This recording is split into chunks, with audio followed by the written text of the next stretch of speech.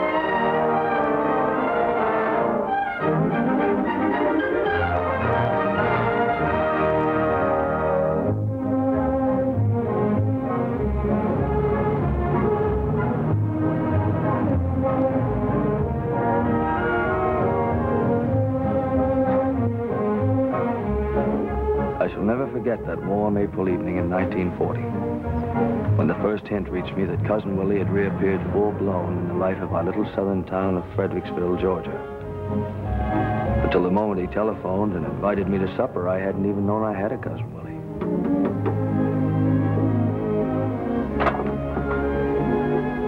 Is this Albert Marbury? Yes, sir. Are you Cousin Willie? I am. Come in, my boy, come in. It's good to see kinfolks again. I used to know you when you were no taller than a duffel bag. Emma, here's your cousin Albert. Good evening, Albert. Hello, Cousin Emma. I didn't know you were going to be here. Oh, yes. Nothing would do Will but that I must keep house for him. you know, we were just talking about you. I declare Will's as full of curiosity as an old cat and trying to catch up on everybody and everything. Let's see, Cousin Will, you're, uh... Your mother's second cousin, Albert. Of course, I remember. Mom talked about you. Y- You sent us a bolo knife from the Philippines one Christmas. I did. Sit down, Albert. Supper will be ready any time now. Thanks. Uh, you back in Fredericksville for good now, Cousin Will? Well, I don't know. I've only been here a week. Hardly time enough to decide whether this is a garrison or a bivouac area. But you're retired, aren't you? Yes, Uncle Sam has turned the old horse out to graze. Uh, what may I offer you to drink, my boy? Well, if Cousin Emma doesn't mind. Oh, mind. don't pay any attention to me. Orderly? Uh, I guess a little whiskey and ranch water, anything else you say. Yes, sir. Well, 98. Uh, good evening, Mr. Hal. I thought you were working down at the depot. Well, yes, I was till the colonel mobilized me up here. Orderly, bring us two rum tampicos. Yes, sir. Going to get 'em. It's a nice place you have here. Comfortable quarters. But we were speaking of my retirement, Albert. I confess I've been looking forward to it merely as an assignment to a new post. A new command means a new point of view, new problems, new solutions. You must have a lot of old friends around here, Cousin Willie. Enough, at least, for a good Saturday afternoon poker game. Yes, this post is not wholly without its social aspects. Uh, but first, Albert, tell me about Fredericksville. Well, there's nothing to tell. It's just like any one of a hundred towns in Georgia. What's the population now? Oh, about 30,000. How many voted in the last election? Four or 5,000, I'd say. You mean 25,000 took no part in the action? Well, you know how folks are around here. Politics and polite society just don't mix. Uh-huh. They mixed when your grandfather was a boy. Perhaps Fredericksville is neglecting its history. Yes, sir. That road out in front was the very road over which the late General Sherman was expected to advance on Fredericksville in 1864. But General Sherman didn't come to Fredericksville, Will. True enough, Emma. Why didn't he? Didn't they think our town was as important as Atlanta? Lots of folks around here have never felt the same about Atlanta since he passed us by, had they, Cousin Em? you aren't still expecting General Sherman, are you, Cousin Willie? Every populated center is always in danger, Albert. Call in your sentries and the enemy appears. A community's history is its family tree. Swell drink, Cousin Willie. Uh, mess is ready, Miss Emma. All right. Drink along with you to the table, Albert. No use letting supper get cold just because Will's wound up like this. No, my boy, Fredericksville didn't spring up like a mushroom overnight out of the molded earth. It was wrested by steady hand and steady eye from the reluctant wilderness, wrested from a British king's tyranny, wrested from Sherman, wrested from the noxious mire of defeat and reparations. It is for us, the living, my boy, for you and me and every decent citizen in the community to see to it that Fredericksville does not forget that. Yes, sir. Try to keep it in mind.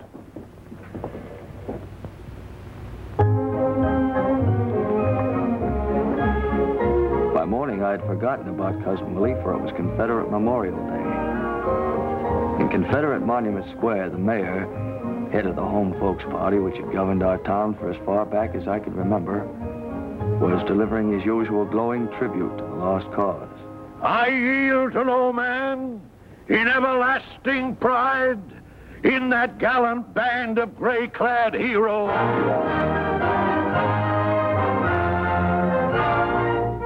With the mayor's salubrious phrases still ringing in my ears, I returned to my job under the leader.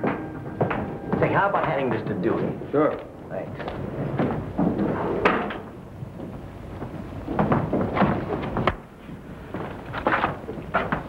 Say, maybe this isn't going to be such a phony war after all. Give that an eight column banner, Pete. Nazis sweep through Norway. You got a cigarette, Al? Thanks. What about his honor's tribute to the lost cause? Oh, yes. We mustn't let the war interfere with anything big like that.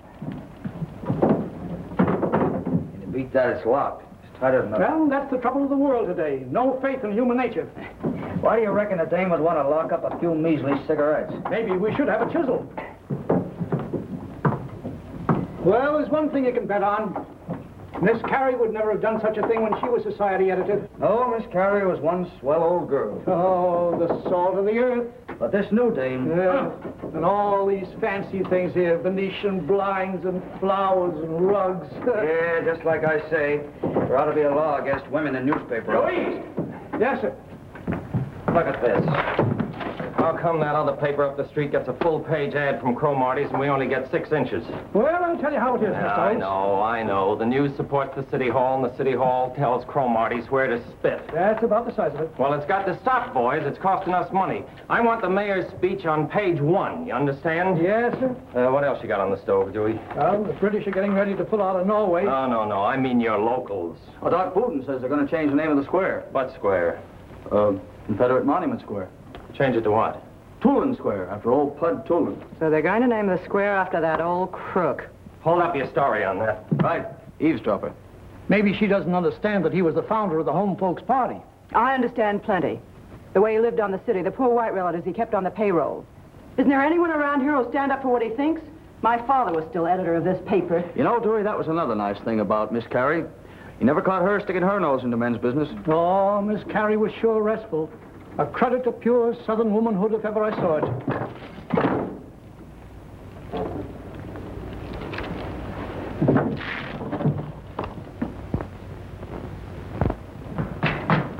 Dewey, I want a Sunday editorial on Pud Tulin. Pud Tulin? He's been dead for 20 years. Well, dig him up. Unless I miss my guess, here's our chance to get in solid with the folks down at City Hall. You know, hit the civic leader angle, talk about what he did for the city. Four or two. End it off on the note, the leader takes pride in joining its voice to the clamor for naming Monument Square after its benefactor and so forth. The time has come in the growth of the expansion of our city and so forth, however you feel it. Give it the works. But isn't that dynamite? Listen, I'm from Ohio. Maybe I don't feel the way you Southerners do about these things. I've got to think about the red and black ink on the books. My bosses sitting up in Chicago aren't worrying about what Stonewall Jackson did at Manassas. And let me see it before you set it up. I may want to add something. It'll Be mighty big surprise to old Pud out there.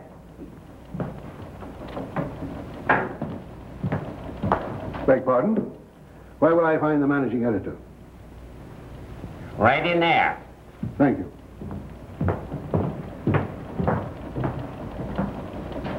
I'm Colonel Effingham, sir. W. Seaborn Effingham, Colonel United States Army, retired. Good morning, Colonel. Take a chair. Thank you. You're uh, visiting in Fredericksville, Colonel? Not at all. I was born in Fredericksville. My father and my grandfather and my great-grandfather were all born in Fredericksville. To an Effingham, Fredericksville is home. I see. My people have always been soldiers. My grandfather fell at Chickamauga, his grandfather at Saratoga. When Beauregard fired on Fort Sumter, my own father, unfortunately, was only nine.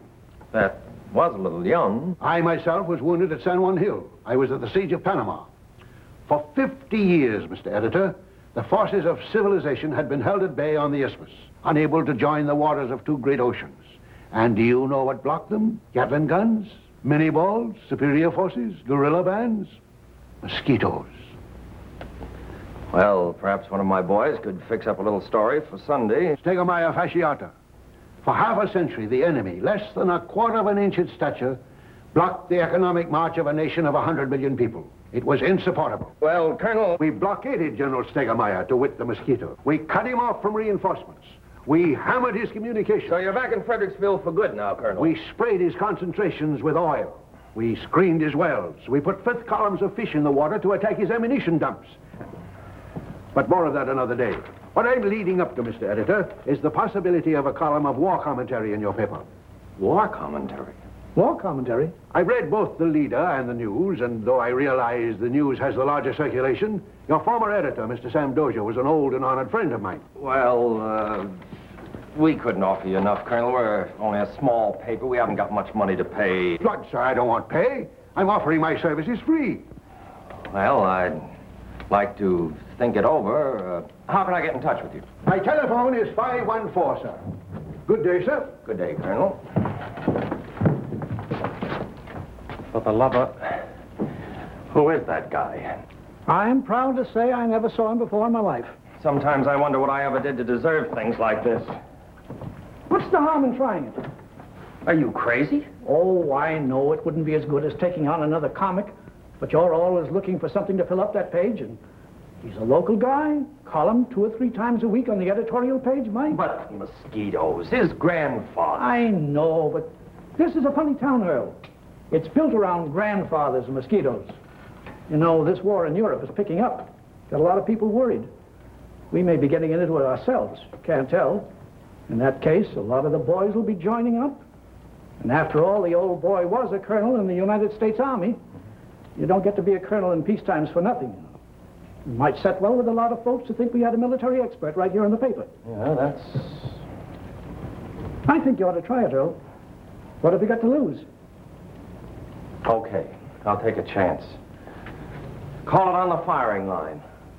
But if you ask me anytime you buy something for nothing, that's just what you get. Did you ever hear of a guy named W. Seaborn Effingham? What's he done? He's going to run a column in our little paper. Column? I didn't know I could write. Anybody can write, Bub. As long as we're going to do it, let's do it right. Build up the old guy two or three days before you start. Get a few informal shots of the author at work and at play. Oh, you better let me handle it. All right, take Jake along to get the pictures. No, I'll do it alone. Two of us will make him nervous. Two of us didn't make him nervous this morning. And for my personal information, find out the name of the last lunatic asylum he attended. I can tell him that now. Why, do you know the guy? That's my cousin Willie. Orderly! On the double. Orderly, our guest here wants a dog. Is there an animal on the post? There's old Buck, Colonel. Buck, I don't know him, but have him report here at once. Yes, sir. Oh, hello, Miss Emma. Oh, I don't know what Will's thinking about. This is the first time an Effingham has ever done such a thing. What'll people say? It's bad enough getting your name in the paper when you're born, or get married, or die. It's not my idea. He's a man of determination. Yes, the Effingham men have always been men of determination. Hey, hey, hey, woman. Hey. Attention.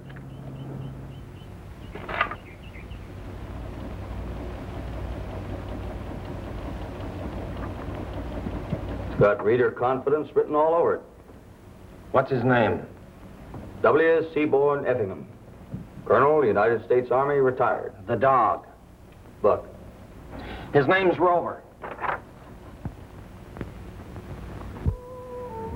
Our subscribers seemed to open their arms to the pair.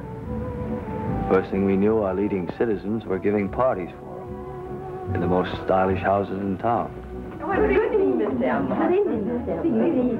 Well, Will, How's the old publicity hound? Effie, how are you? Man, they've certainly been giving you plenty of write-ups. Everybody in town must know Colonel Effingham and his faithful old dog Rover by now. How does it feel to be in the limelight, Will? well, I'm used to being shot at. Anyhow, Will, we want you to know we're right behind you. Thanks, Clyde. Sorry I can't offer you anything but punch, but if you boys will step out into the kitchen... I've already sweetened it just a mite, Mr. Clark. Here's to you, Will. And to our good old Billy Goat days together. And to Will's new column. Oh, yes, column. Here's your good health. I can't get over it. Old Will here, a colonel in the army, been everywhere, seen everything, and we've just sat home and kind of mildewed. On the contrary, you gentlemen have made substantial successes in your chosen fields of endeavor. Jesse and you, Sterling, presidents of flourishing banks, and Clyde, head of the Southeastern Fertilizer. Oh, we managed to keep a roof over our head. you don't remember me. Clara Breckenbridge. Clara Miggs now. You remember Charlie Miggs? He was a dance at school with us. He was always a lucky dog. I would have known you anywhere, Clara.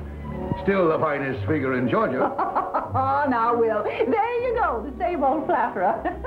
I declare, I don't know how you ever escaped marriage. Colonel Effingham, I'm Ella Sue Dozier. I believe you knew my father, Sam Dozier. Sam Dozier, one of the most courageous editors Georgia ever produced. I rank him with Henry Grady. I'm delighted to know his daughter. Well, you, you probably see a lot of this little girl now that you're fellow workers. Fellow workers. I felt some Dozier had to be on the leader. It's a pleasure to join forces with you any day, my dear. To the ladies, under whose sheltering wings lives the valor of Fredericksville. Excuse me, Ella Sue. Oh, hello, Ed. Colonel Effingham, this is Mr. Edward Bland, professor of economics in the high school. Good evening. How are you, Colonel? Isn't this our dance? Oh, I'm sorry, Ed, but I've been saving this one for Colonel Effingham. Will you Oh. dance with me, Colonel? It's an honor, my dear.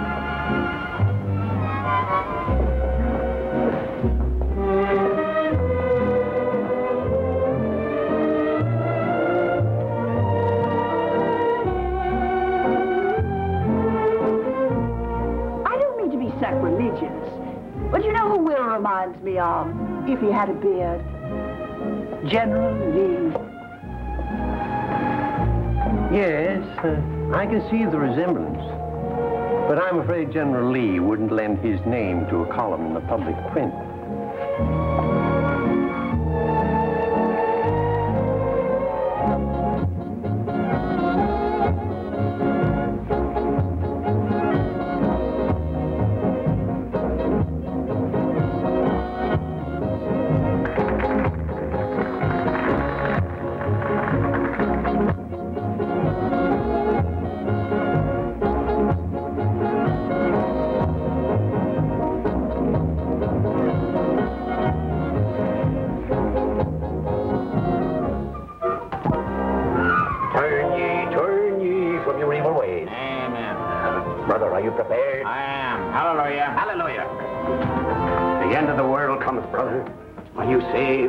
Been saved, brother. Hallelujah. Sin will ruin you. Hallelujah, don't I know it?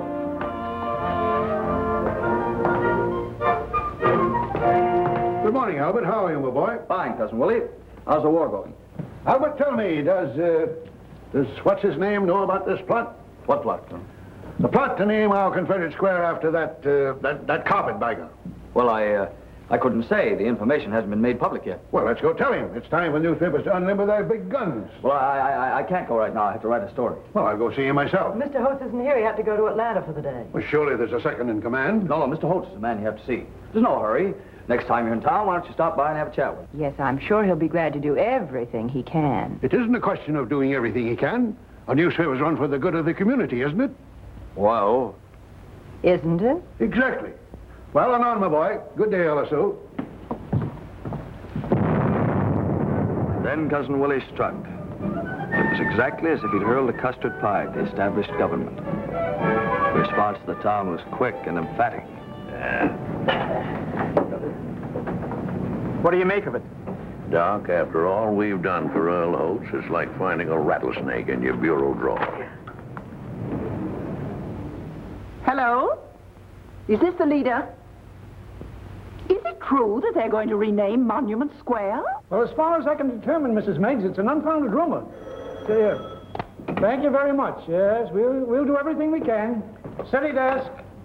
No, no, the colonel doesn't happen to be in at the moment. No. Mr. Holtz is the editor. Yes, yeah, he- he's the man you want to see. What's going on? Oh, I never read his tripe. I just hung it on the hook. I thought the old guy was going to write a war column. Holtz said to give him his head. Here, he's your cousin. Who is Pud Poulin? Never got through the sixth grade. Came interested in politics when working in the cotton mills.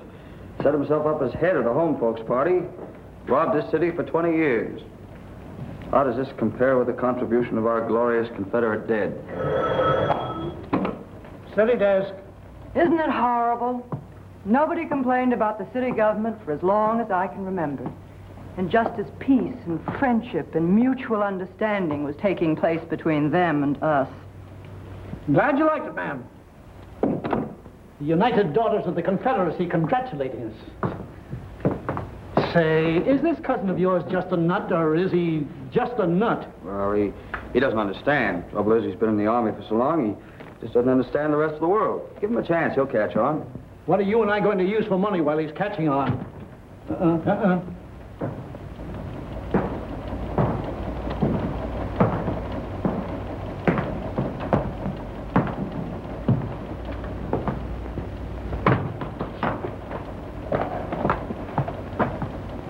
How'd it get by you, Dewey? Where? I... City desk. It's for you, Mr. Holtz. Hello. Mr. Hoots, uh, this is Mrs. Clyde Manager. I just want to tell you how terribly pleased I am, how terribly pleased all my friends are with the position Colonel Effingham has taken on your paper in regard to the renaming of Confederate Monument Square. Thank you. Goodbye. Have you heard anything from the city hall yet? I wouldn't see it unless on the sport page. Seems to me, Mr. Holtz, that if this thing was signed by a special writer, it wouldn't necessarily represent the policy of the paper.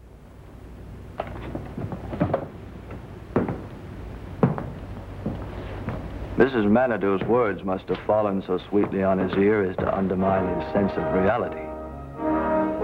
At any rate, his reaction was simply to write a new editorial to fit the circumstances, offered in the spirit of righting a wrong.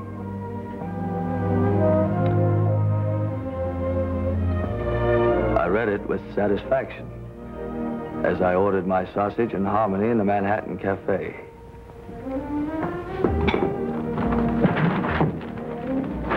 Then I turned the page to Cousin Willie's column.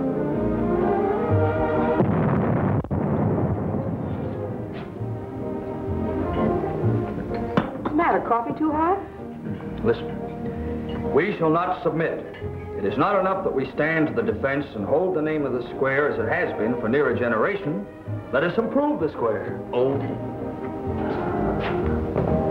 Picture, if you will, in a circle about that shaft of Georgia marble, 13 live oak trees. Oh. Get you feeling good, Al? Have you read what he's been up to now?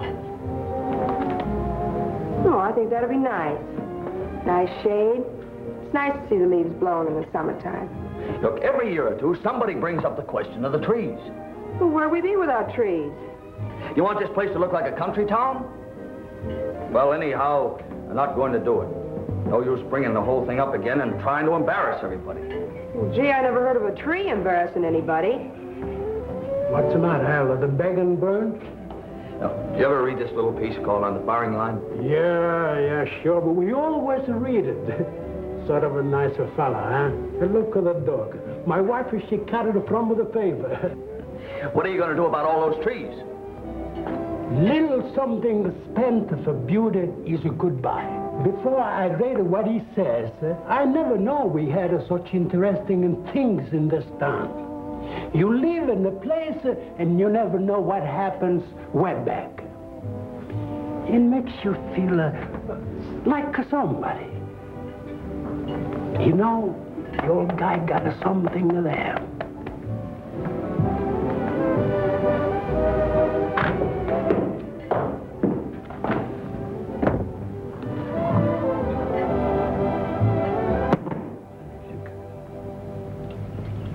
On guard. Straighten your body, man. Straighten your body. Bend your knees. Uh, Mr. Consul, won't you rather have a rum tampico? Position. One, two, thrust. Watch your feet, man. Watch your feet. Oh, Mr. Consul, I'm gonna go wash my feet in here, too. Come in, Albert. We're just keeping in shape. Have a seat. Cousin Willie, you know the mayor, don't you? I haven't had the pleasure of meeting his honor. Well, the mayor's a garden fancier. He loves trees and flowers. Seems to me it'd be nice if you'd consult him about planting those trees. Naturally, he'd like to be in on any civic improvement of this type. You know, take a little of the credit. I don't care anything about the credit. I want the trees. On guard. Touche. They might welcome the chance of the trees just to show their hearts in the right place. I don't know, Albert, whether their heart's in the right place or not. Stand up to it, man. Uh, Mr. Consul, are you sure you don't want no rum tampico? On guard. They're nice fellows. They're only trying to do what's right. Mustn't forget, Cousin Willie, that they haven't had the advantage of an education and travel and that sort of thing like some of the rest of us have had. You'll be surprised where some of those boys come from. Wouldn't surprise me at all, Albert. But I don't see why our biggest and most important project, the administration of government, should be handed over lock, stock, and barrel to a bunch of incompetents. On guard. But, Cousin Willie, I don't think you're quite giving the boys their due. You? When we turned on the malarial mosquitoes in the canal zone, do you think the mosquitoes were not getting their due? Oh, On guard. Somebody has to run the government. The citizens won't do it. If it weren't for the Home Folks Party, there wouldn't be any government at all. Is it your impression, Albert, that these people are acting as trustees until such time as the citizens come of age and can take over the government themselves? Well, anyhow, I think you ought to have a chat with the mayor sometime. All right, I will. Orderly, bring the car, please. Can I drop you by your office, my boy? Well, you're not going to see the mayor right now, eh? As soon as I can change my clothes. Well, there's no hurry, Cousin Willie. Any old time will do. Son, when you get to be 65, it's a good time to hurry.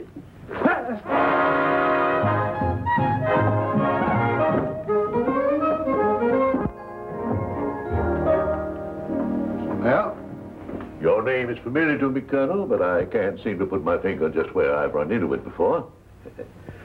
Are you here in Fredericksville in connection with national defense? Defense of America is the nearest thing to my heart. What I want to discuss with you, Mr. Mayor, is the desirability of planting 13 trees in a circle about the Confederate monument. You write that column in the leader. I do.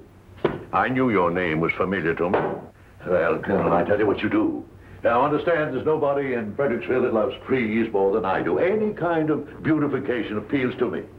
But there's a water main under Monument Square that might be disturbed. And you can't dig up a water main just to plant a few trees. Now, why don't you go see Mr. Clemmer, the city engineer? I couldn't do a thing without his approval. It's been nice to see you, Colonel. Anytime I can be of service. Good day, sir. See what I have to put up with? No gratitude. Sometimes I wonder why I ever let him put me up for bear in the first place. I don't blame you, Cousin Ed. And don't you cousin Ed me around here. I'm enough to contend with without relatives. Ah, look at you're making a mountain out of a molehill. The way to handle these nuts is to agree with them. Let him plant his trees. Are you crazy? Do you want to undermine the whole city government? No, no, certainly not, Doc. But while we're improving the park, planting the trees, we'll just go one step farther and improve the whole square by putting up the new courthouse. He'll think the whole idea is his. Mm, what do you think, Doc? By granny, I believe Joe's got something there. Yes, sir, Joe. I think we've hit the nail right on the head. From now on, this Effingham Colonel's playing second base on our team.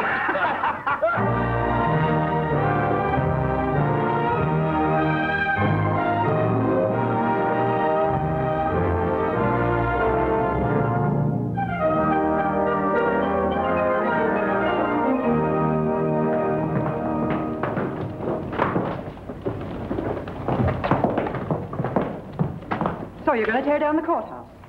I have nothing to do with it. You could stop it. How? You could if you wanted to. Look, the old fire trap's about ready to fall apart anyhow. Well, how'd it wear out so quickly? It's been worn out for years. It just discovered. Well, why didn't you keep it repaired?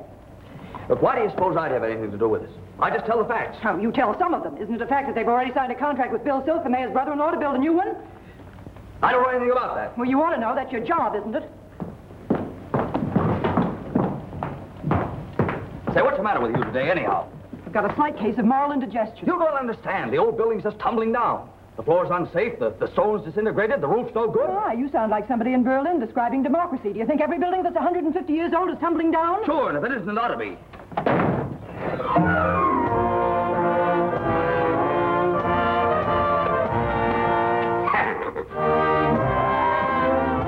the end of the world cometh, brother. Are you prepared? I will be as soon as our artillery comes into position.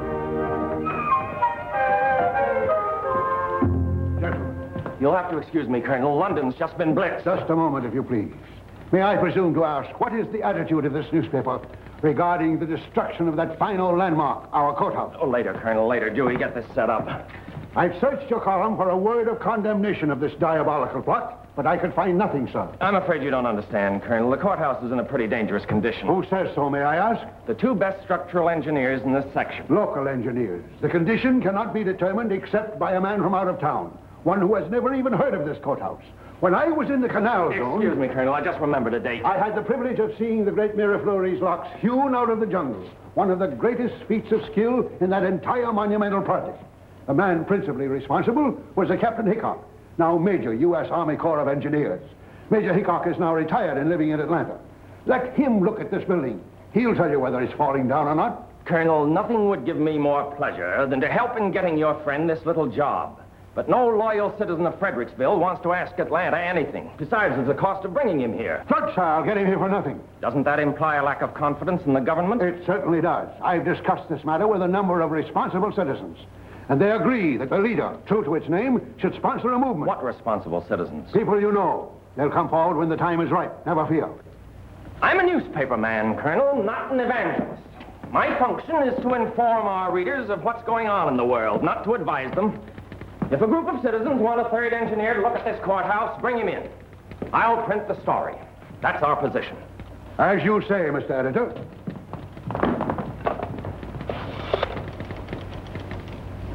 Long distance, please.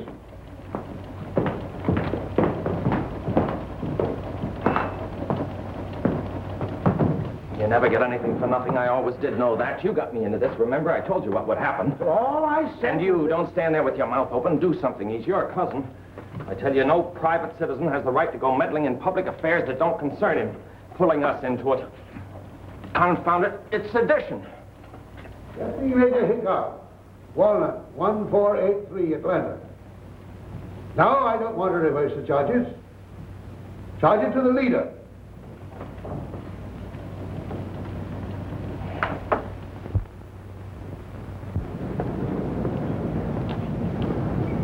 Naturally, we didn't carry any build-up on Major Hickok's coming to Fredericksville. But I was detailed to accompany him and the colonel on their tour of the building, just to make sure they didn't go into a huddle and fling us a fast one.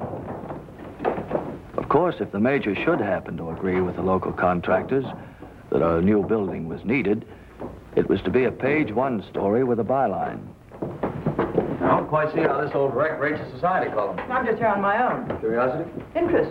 Trying to check up, hmm? Trying to make sure I won't draw any wrong conclusions. Possibly, or print them. How do I get up onto the roof? Right this way, gentlemen.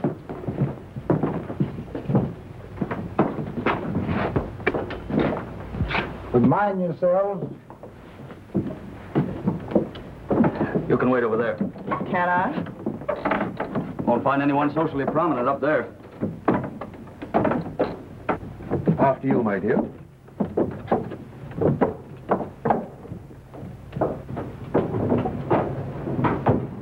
Fire up here? Way back, just after the war.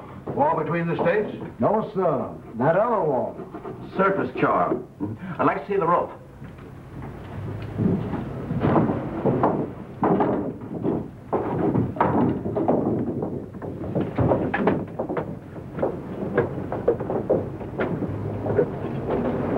Give me a hand, will you? You don't want to go out there. You'll ruin your clothes. Sorry.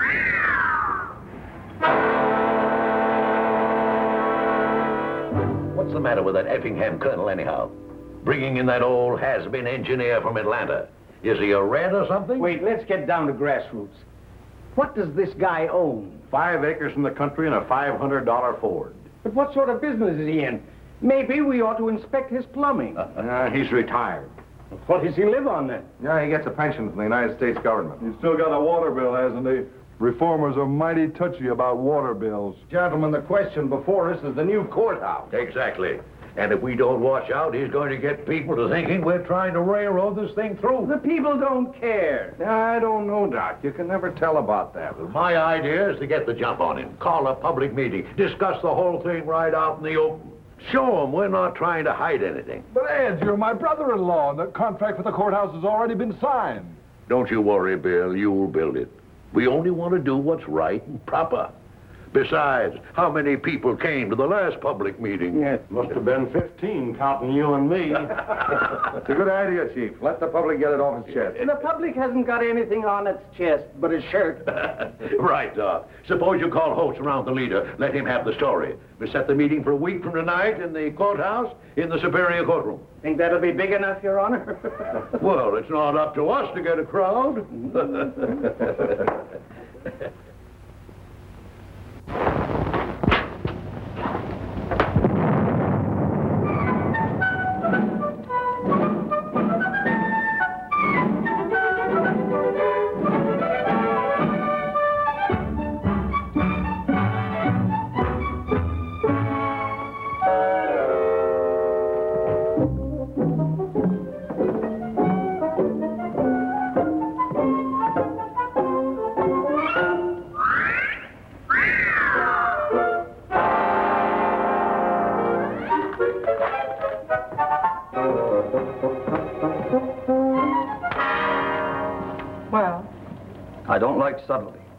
you like petitions.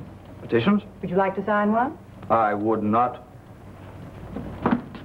What sort of petition?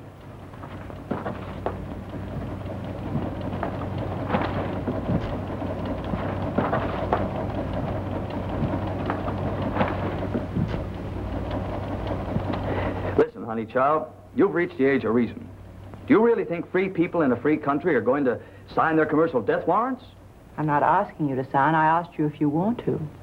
I have nothing against the old courthouse. As a matter of fact, I have a personal attachment for it. Just think Cousin Willie's stirring up a lot of unnecessary trouble. He's stirring up a lot of trouble, all right. Sort of feel sorry for the old guy.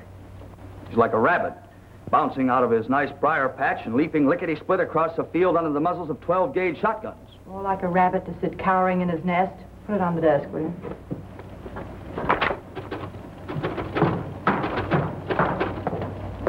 Oh, Al, the National Guard's just got in some new 30 caliber machine guns. Go on over and have a talk with Captain Rampy, will you? See if you can get a little story for Sunday.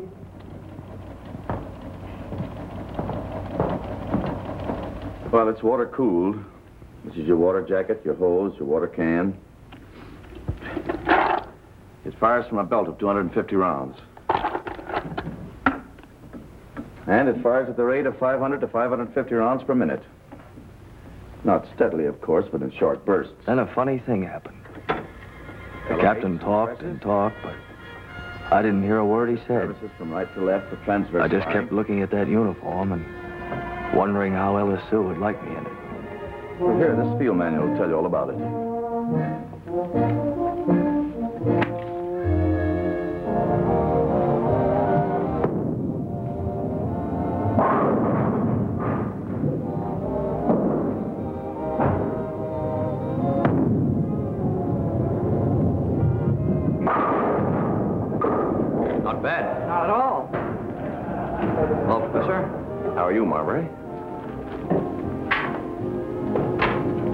By the way, did I tell you...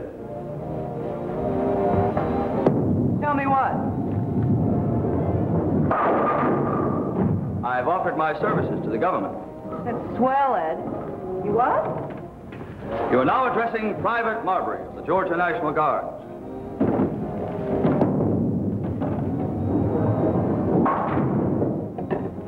I don't understand. Nothing to understand. Democracy is threatened. I reach for my gun. It's as simple as that.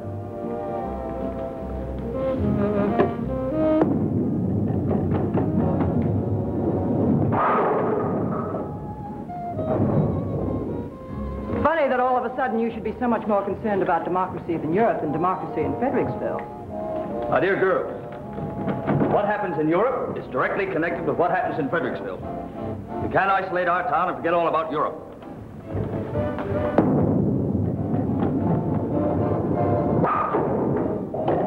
Neither can you isolate Europe, which is 3,000 miles away, and forget about Fredericksville right here under your nose? Okay. Okay, I'll sign your petition. Sorry, we've done very well without you.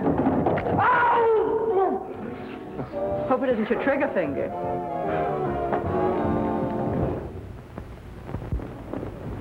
Thursday night was more fitting to moonlight and mint juleps than to public meetings. But to everyone's amazement, there was quite a turnout. We stay together, ladies. Mostly widows and old maid aunts. They know as much about running a town as a jackrabbit. Yeah, but they're the talky type.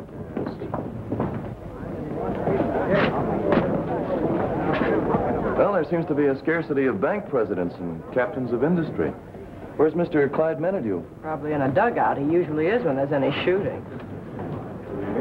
Mrs. May, lady. Hello, boy. Mr. Mayor. The sooner we get started, the better chance we have of getting out of this place before it collapses. Just a minute, Mr. Mayor. If you please, sir. These ladies have not found seats. Oh, ladies, I think you'll find comfortable seats over by the window. I know you're all anxious to get through with this so you can go on about your own affairs. To the contrary, Mr. Mayor. This matter requires considerable discussion. There he goes. Order,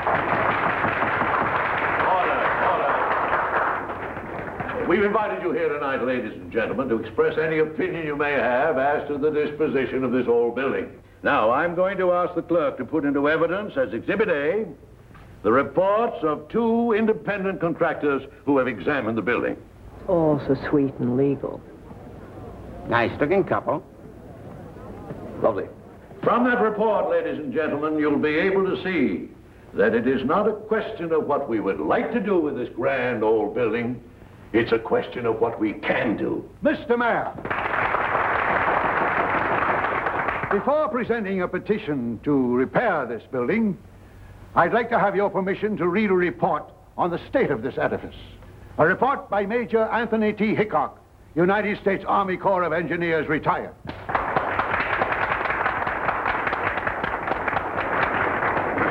We don't know anything about this gentleman. You've heard of the Miraflores locks, I presume, sir? Why, no, sir. I don't think I've ever heard of that particular brand. Have you heard of the Panama Canal?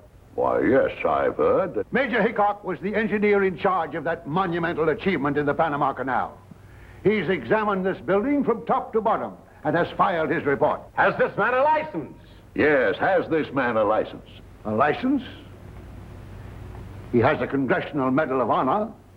Uh, Mr. Mayor, I move that the chair accept the major's report in evidence. Uh, certainly. I was just about to make the same suggestion. Uh, Proceed, sir. That the structure should have been allowed to deteriorate to such an extent as now is a matter of apparent negligence, concerning which it is not my duty to report. But the building is by no means beyond repair. To destroy such a dignified and harmoniously proportioned structure is something which the pride of this community should go to great lengths to prevent. The council will be glad to take this report under its due consideration. Mr. Mayor, I make a motion that the chair call for a rising vote of those in favor of preserving this building. Second of the motion. Just a minute, if you please, Mr. Mayor. Uh, Mr. City Attorney. May I inquire if it is in order to call upon this meeting for a vote on a matter which is entirely the responsibility of the duly elected city officials? Does a gathering of citizens require a government license to vote on a public question? Well, I... I don't deny the right of this or any other anomalous body to express its opinion. But that opinion must not be forced upon the council, which has had the benefit of the advice of competent engineers, known and respected by all of us. This, uh, this is not a matter in which a pressure group should try to enforce its will. This building doesn't belong to the city council to dispose of as they choose. It belongs to the people of the city of Fredericksville and the county of Fredericks. 500,000 strong. I'm afraid the gentleman's idea of our population is as exaggerated as some of his other ideas. The figure is highly conservative, sir. This courthouse doesn't belong merely to the citizens of today. but of yesterday. On the steps of this building, General George Washington addressed the citizens of Fredericksville. In this very room, the delegates from the young state of Georgia assembled to ratify the federal constitution. This embodiment of our common memories is a symbol of law and order and of democratic procedure. A symbol of what we fought the revolution for. It represents a heritage of our free government, handed down to us through perilous years. It belongs to every citizen who trod these streets before us. It belongs to every citizen who will tread these streets after you and I are gone, sir.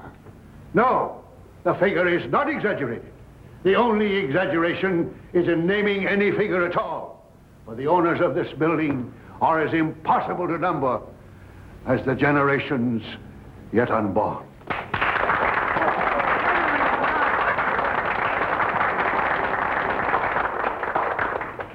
The old boy's quite an orator. But the contract's been signed. The council is, of course, interested in the opinions of the citizens. Whatever is done with this old building is going to cost money. The taxpayers' money. And it is our duty to see that that money is well spent. Now, in order to either rebuild or repair, we will need WPA help. If a grant can be secured from the WPA, it will take care of one-third of the cost. But the WPA is not interested in repairing old buildings. However, there is every reason to believe that a grant of one-third can be obtained toward building a new courthouse.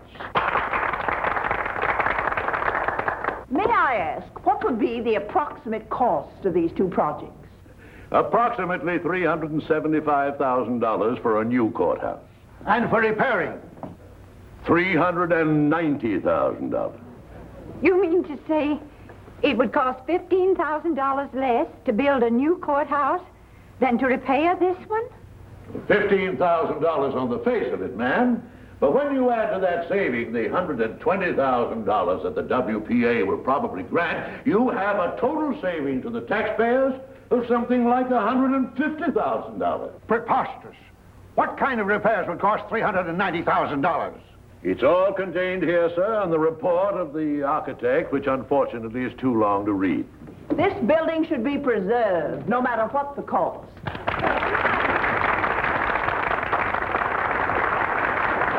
I question the figure submitted for the cost of repairing this building.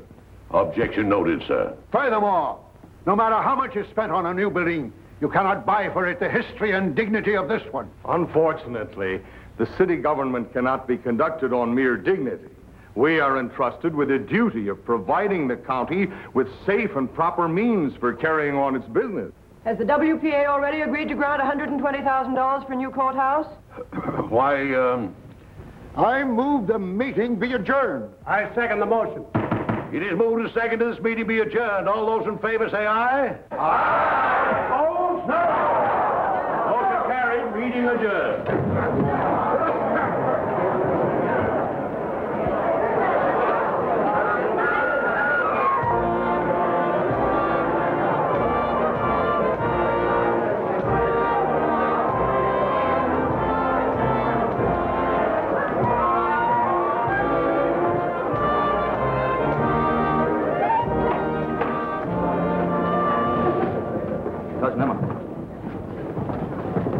Means he's going to lay off.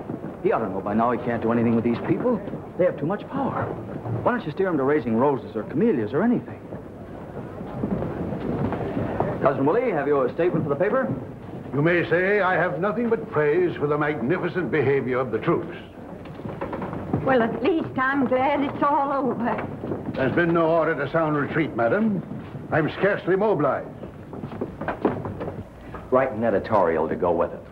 Something like, uh, since the WPA refuses to aid in financing the repairing of the old courthouse, even the most sentimental citizen will be practical enough to realize, and so forth and so forth. Lay it on thick. Hey, Chase, look at this.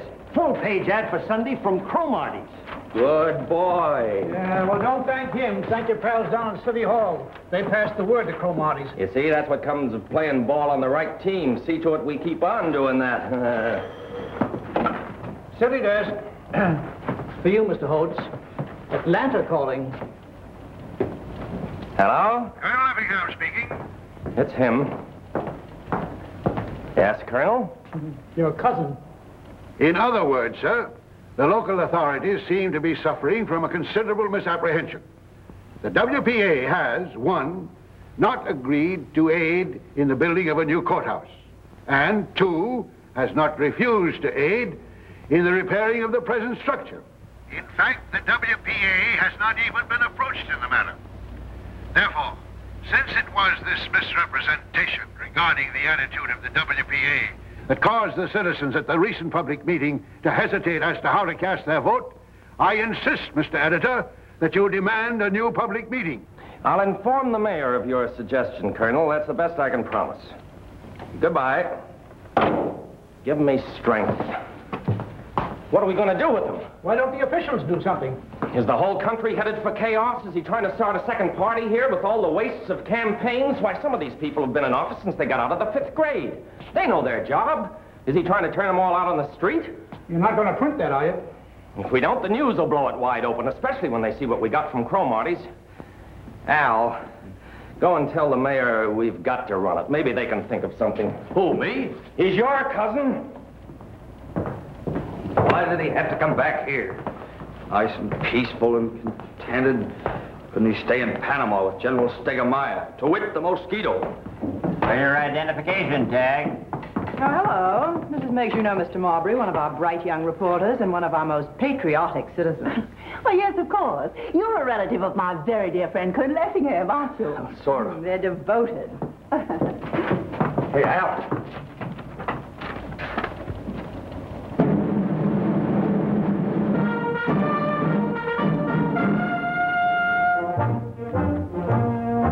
Congratulations. Thanks.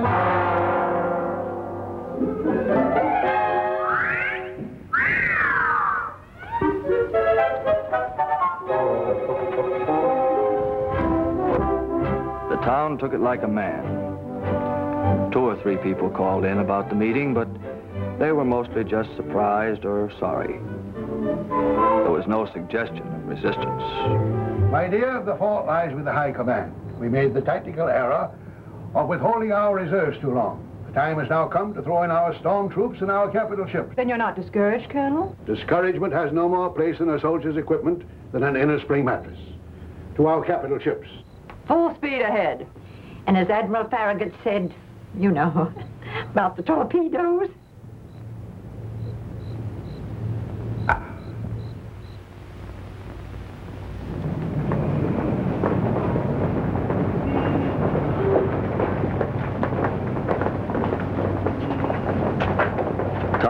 Top on the list of the colonel's reserves was his friend Sterling Tignor.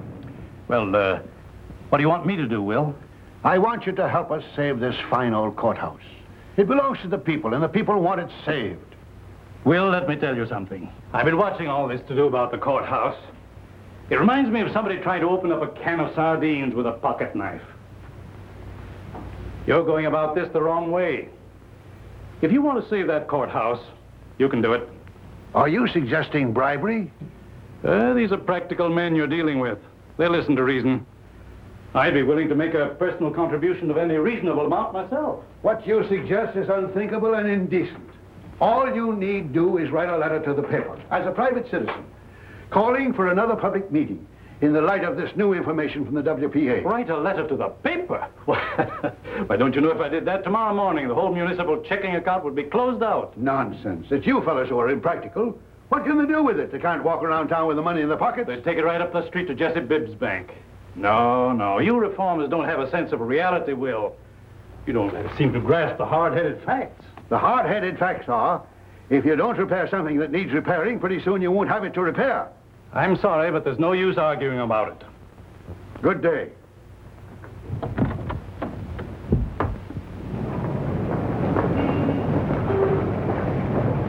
I'm sorry, Will, but you're making a mistake, a great mistake, to antagonize these people. Antagonize?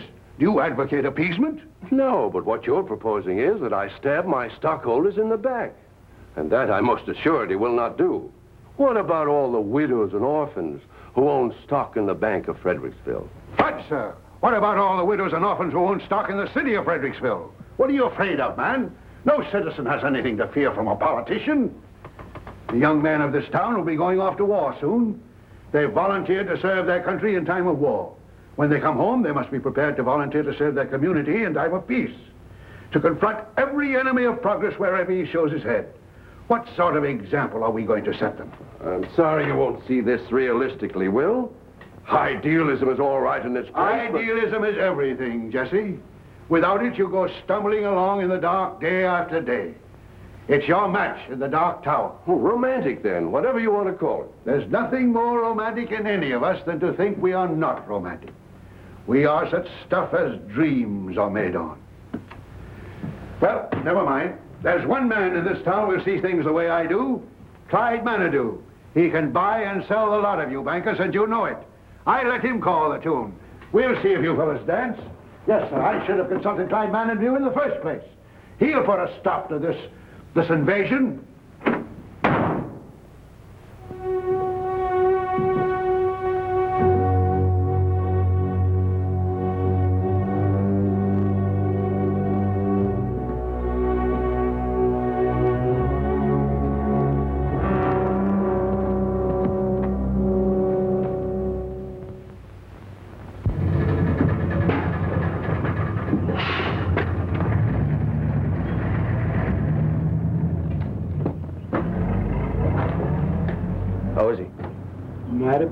Poorly, Mr.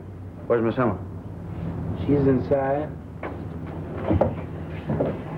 Oh, Albert, thank goodness you've come. Maybe you can do something with him. Any change, Cousin Emma? No, he just sits there staring out the window.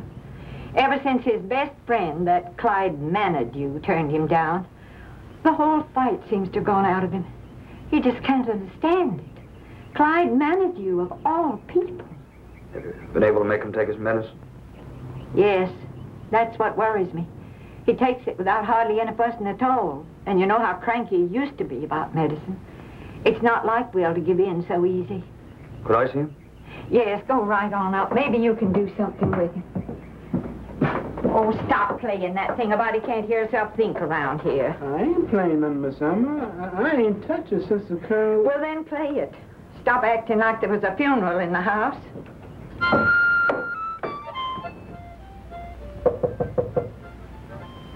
Come in. Hello, Cousin Willie. Step in, Albert.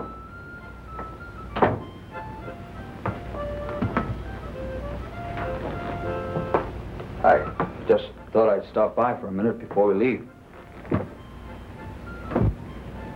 Leave? Yes, sir. Company's pulling out 9.30. Forgive me, my boy. I'd clean forgotten it. I'll be there. Oh, no, Cousin Willie, you mustn't do that. You better stay here and take care of yourself. Albert, I made the unpardonable error of overestimating the quality of my reserves. Oh, you mean Manitou in that crowd? Well, I... That's not as bad as it looks, Cousin Willie. No, Albert.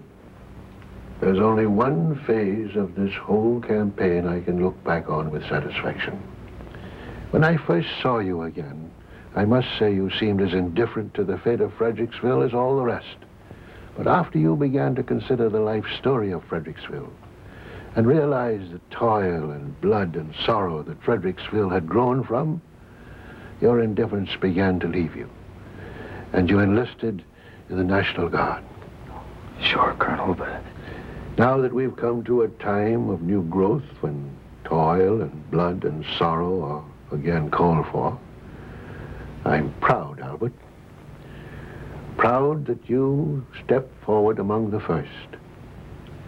The same is true of your comrades in arms. I didn't do anything, Cousin Willie. They just drafted me anyway. Albert, I want you to have this. Oh, no, Cousin Willie, I couldn't take that. This was the first wristwatch in the Panama Canal Zone. It hasn't lost a minute in 34 years. Gee, that's Willie, that's swell. I should like to think of it carrying you into action. In action, my boy, timing is very important. Thank you, sir. Well, I guess I'd better be shoving off. Goodbye, sir. Goodbye, my boy. God bless you.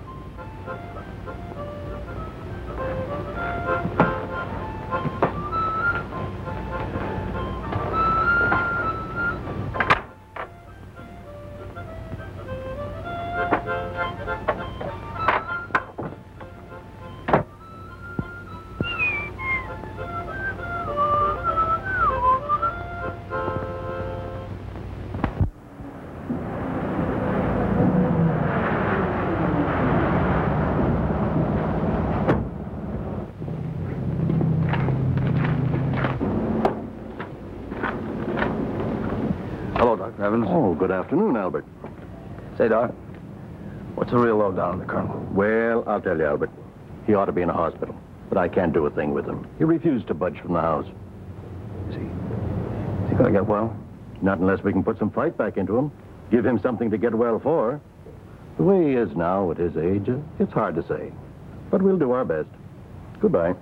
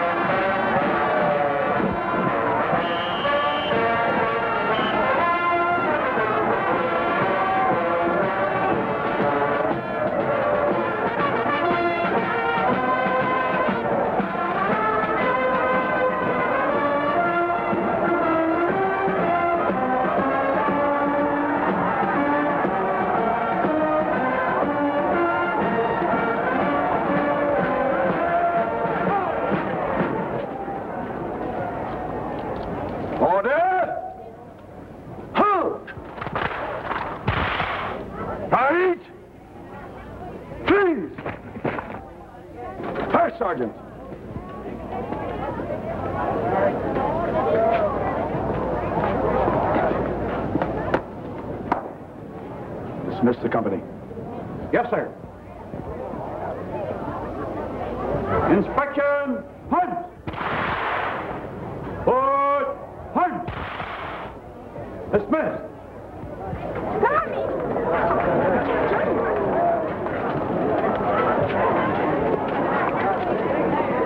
Hello? So you've come to cover the story, have you? Well, you don't think I came to see you, do you? Ella Sue. You want something to eat, soldier?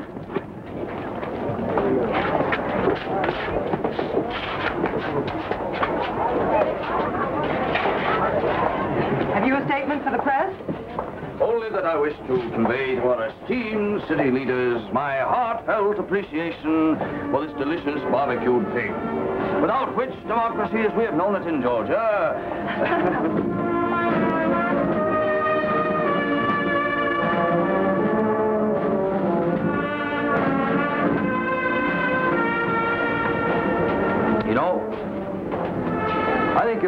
a service star in the door of the society department. Why? You got me into this. Me? Thought you'd like the uniform. Oh, Albert, this is so sudden. Remember that day at the courthouse, up in the catwalk when uh, wind blew your skirts up? Now, Albert, how sweet of you to notice. I guess that was a turning point in my life. Oh, I'd seen your legs before, but they never impressed me as being anything unusual. Just run of the mill. Suddenly, I realized there was something about them that didn't seem to fit in with that fresh little dame in the office who hid her cigarettes. I mean, there was something sort of special and personal. I didn't even suspect you knew I had legs. Just began to bother me, that's all. You mean there's something profane in your feelings towards me? Definitely. Oh, Albert, you are nice. After that, I never felt the same towards you, towards anything for that matter. That I thought maybe you'd like the uniform. Why didn't you tell me? I reckon I couldn't figure out how to say it without getting serious. Seriousness won't hit you. Listen, honey child, I'm a southerner. Seriousness is one thing I'm scared to death of.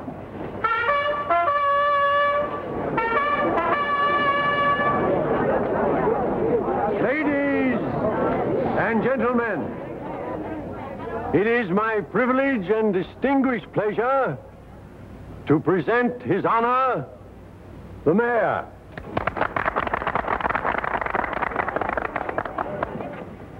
This is a red letter day in the glorious history of Fredericksville when the sons of Georgia once more answer the call of duty. Words fail me to express the gratitude that we, the citizens of this community, feel for you young men who are going forth like your fathers of old to preserve and protect our way of life and the ideals of government of the people, for the people and by the people. Some of you may even be called upon to make the supreme sacrifice in defense of our ideals and our homes. But boys, I want you to remember this. You can always count on the folks at home. And when the war is won, you come marching back in triumph, you'll find the home folks right here waiting for you. And the home folks party.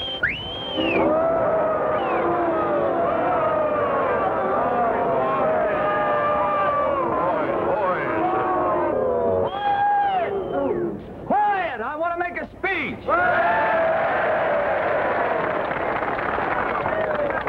I've listened to I want to. We guys are going out to do a job that's got to be done. Maybe we won't get back in time for the next election. But when we do get back, we want to make sure that we're going to have something to say about what's going on around here. Too many of us have sat back like scared rabbits. We're scared to talk, scared to vote, scared to even look at things the way they are. But maybe by the time we get this job done, we won't scare so easy. Maybe more people heard Colonel Effingham than you thought. When an honest man speaks out, you'd be surprised how many people hear him. Maybe they're tired of political tricks and grabs and runarounds and shenanigans. Maybe they want that town run and not run down. And about this courthouse, leave it right where it is. See to it that it's fixed up by the time we get back. If it's not fixed up, we're going to want to know why.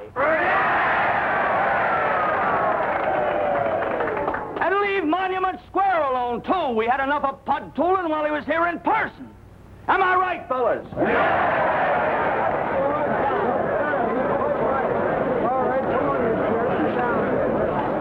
All right, what's your answer, Mr. Mayor? We want it straight. Boys, boys. And we want it right here in front of the whole town, so there'll be no stalling. Well, uh...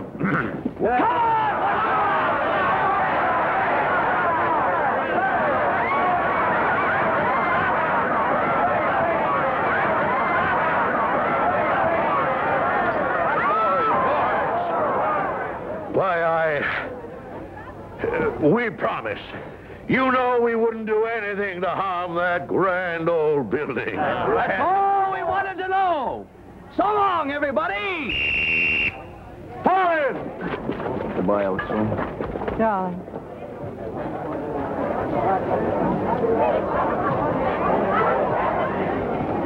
Left.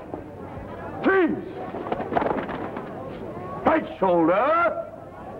Huh.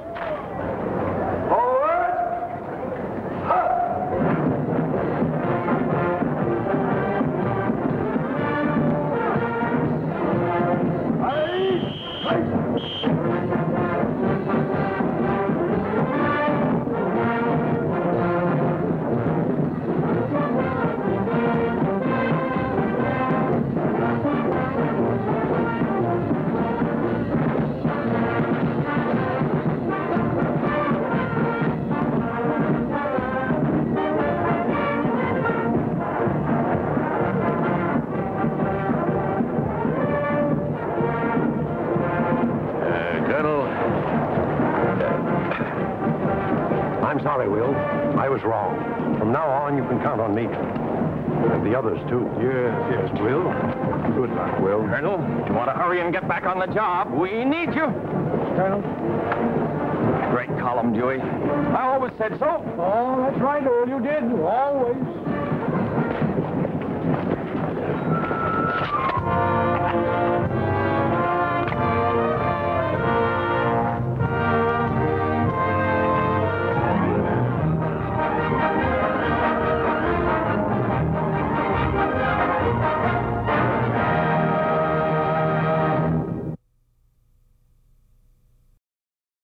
Described and Captioned Media program provides services designed to benefit students who are blind, visually impaired, deaf, hard of hearing, and deaf-blind.